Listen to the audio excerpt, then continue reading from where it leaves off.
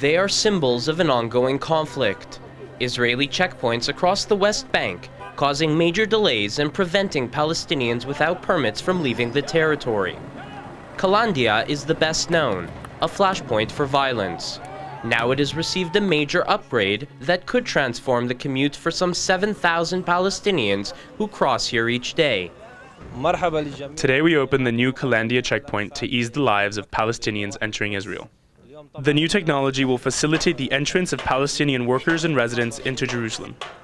In a month and a half, we will start fixing the checkpoint so that cars can pass more easily. We will add two lanes. The Media Line's Arab Affairs correspondent, Dima Abu Maria, was at the opening of the enhanced checkpoint. The $11 million project was undertaken by the Israeli Army and the Israeli Civil Administration that oversees parts of the West Bank. The new facility includes 27 electronic speed gates that open with the swipe of a magnetic card that Palestinians must apply for. Previously, people would have to line up for hours before presenting their credentials to Israeli soldiers that checked them manually.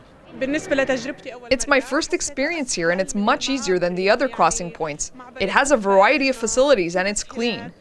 I think it's an excellent and successful project. There are also two special areas designed for people with disabilities, the sick and the elderly, to allow them to pass more easily.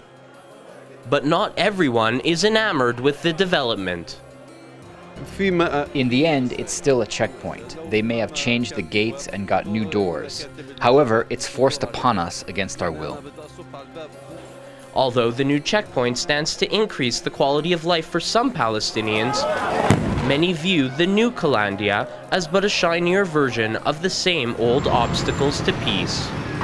From the new Qalandiya checkpoint that connects the city of Jerusalem with the West Bank city of Ramallah, this is Dima Abu Maria reporting for the Media Line.